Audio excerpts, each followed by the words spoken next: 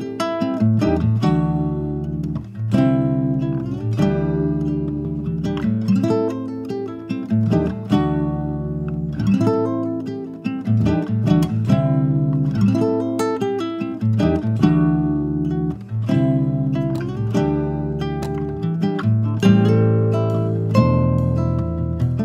Hi, I'm Laurie at Trofeo Estate down here on the Mornington Peninsula. We specialise in terracotta wines and our wonderful Whispering Vines Cafe. Come and check us out Wednesday to Sunday. Hope to see you soon.